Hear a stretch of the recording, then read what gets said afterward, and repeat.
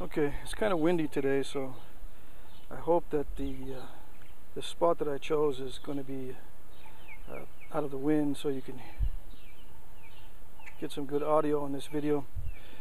I'm going to postpone my uh, my reproduction of this particular point. I've been studying it this morning and um, I noticed that it has certain characteristics that would lead me to believe that it, it is pressure flaked it's a, it's kind of beveled. I don't know if we can see this.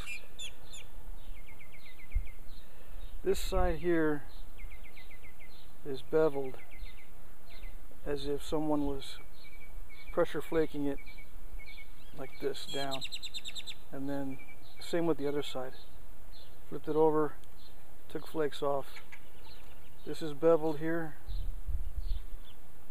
and it's beveled here the edge is also slightly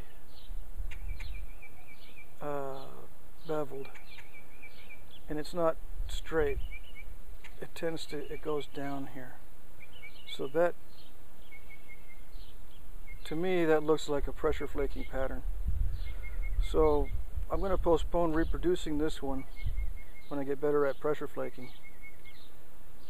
And uh, we'll move on to something else for now.